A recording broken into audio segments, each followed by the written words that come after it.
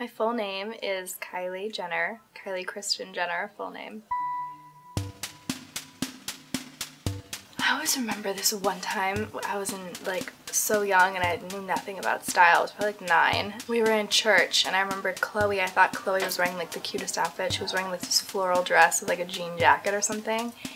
And it was Easter and I was just like asking her all this advice. She was like, you just gotta like put things together and like and I remember like right when she told me that I like got into style and I was like oh my god now I like want to try and dress cute and like I would always just like try and copy her outfits.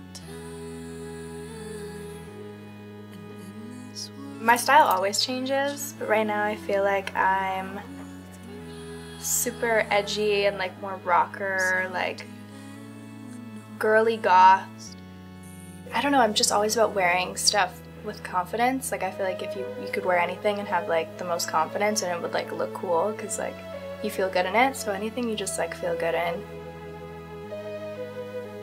My biggest style inspirations are Kim and Kanye probably. Kim's whole closet I wish I owned and she lives with me so it's so hard like I don't even go in her room because I want to steal everything but um, I think she has like the coolest clothes.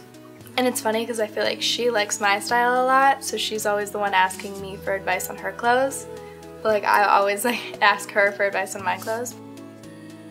It takes me, I don't know, like 10 minutes to do my makeup, like depends. Like if I can find an outfit, I can either find an outfit in like two seconds and be like ready to go, or I like won't be able to find an outfit for like two hours and then just like not get out of the house. But usually it's pretty quick.